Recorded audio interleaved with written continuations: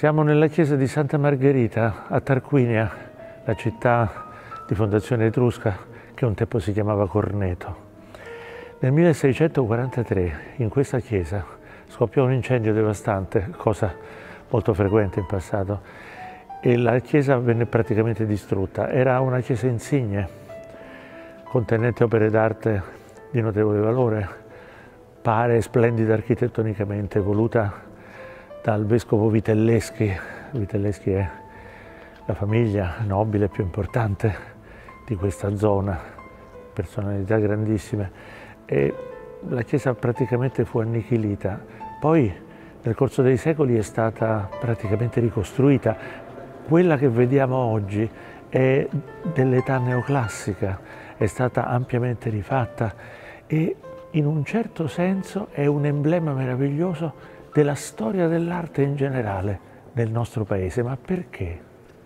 Perché quello che è successo qui è successo in larga parte dell'intera storia dell'arte italiana e non solo italiana. Cioè, proviamo a fare una statistica. Nel 1400-1500, com'era questa chiesa? Cosa conteneva? Una miriade di cose sia la sua stessa struttura architettonica sia le opere d'arte che erano presenti. Cosa è rimasto? Nulla, nulla è rimasto, non poco, nulla. Però poi se andiamo a approfondire ci accorgiamo che no, mi sono un po' sbagliato, non proprio nulla, qualcosa è rimasto, ma per poterlo recuperare gli uomini hanno dovuto fare uno sforzo notevolissimo, questo vale per tutta la storia dell'arte italiana, come vi dicevo. Noi oggi conosciamo questa storia dell'arte, la conosciamo diciamo dall'Alto Medioevo, dal V-VI secolo d.C. fino a oggi o perlomeno fino a, alla, alla fine del Novecento. Ebbene, se applichiamo all'intera storia dell'arte italiana il principio che possiamo leggere qui, in questo luogo, tra l'altro bellissimo, cosa dobbiamo concludere? Che probabilmente dell'intero patrimonio accumulato nel corso dei secoli e che costituisce appunto la storia dell'arte italiana, in percentuale quanto rimane rispetto appunto a tutto ciò che è stato prodotto? Beh, io vi dico una cosa cari amici, se applichiamo il principio del Duomo di Tarquinia potremmo dire 20%, 25%, non saremmo molto lontani dalla verità. Però la storia è anche benevola e qualcosa ha voluto conservare in questa chiesa. Vediamo cosa. L'incendio del 1600 non distrusse gli affreschi della cappella absidale, li offuscò terribilmente, tanto è vero che vennero poi imbiancati mm, perché risultavano scurissimi. E quando poi fu fatto il grande restauro della chiesa nell'Ottocento, i tecnici dell'epoca pensarono di, di demolirli, ma si oppose un grande studioso del tempo. Sempre così è nella storia delle belle arti. Ci vuole qualcuno che ama le cose e le protegge. Un certo canonico Marzio, una, una luminosa figura che si oppose alla distruzione degli affreschi. E così malgrado siano stati molto danneggiati, eccoli, sono rimasti e sono un ciclo di pitture mirabili del primissimo Rinascimento italiano. L'autore non è celeberrimo, eppure è un grande pittore.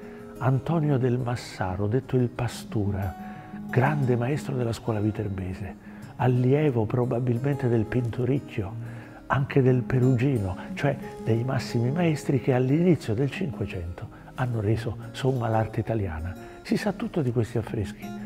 I, I, canonici nel 1509 proclamano terminati i lavori e debbono attribuire l'adeguato compenso al Pastura. C'è un, una serie di documenti conservati nell'archivio di Stato di Viterbo che ci raccontano la storia.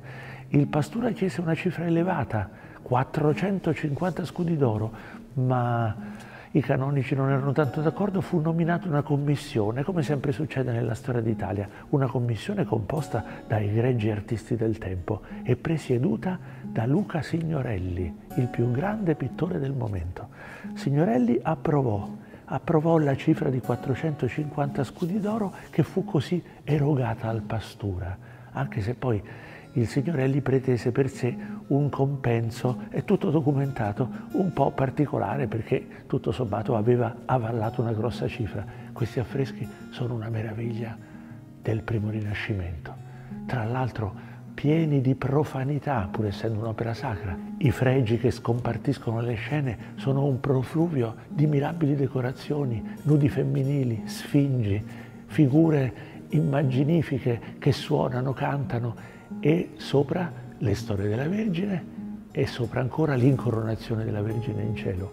Un nitore, una precisione, una bellezza incomparabili di questo grandissimo pittore che conosce la prospettiva come, e forse perfino meglio, di Piero della Francesca, uno che ha fatto lezione a tutti, ha fatto lezione perfino a Raffaello Sanzio e per un puro caso la sua opera resta nel naufragio generale della storia dell'arte italiana, alcuni sommi relitti ci fanno da filo d'Arianna che ci accompagnano nel corso del tempo. Teniamoceli cari.